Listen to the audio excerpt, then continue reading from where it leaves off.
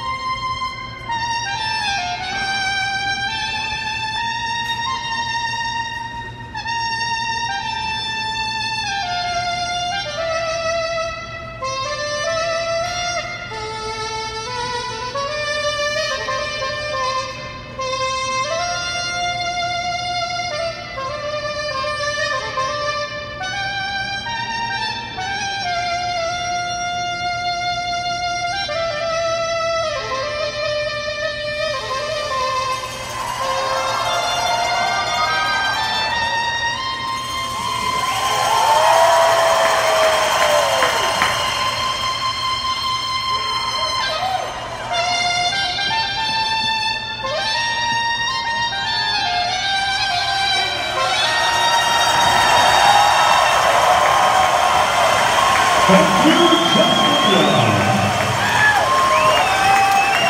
official game as decided by the Western Hockey League are brought to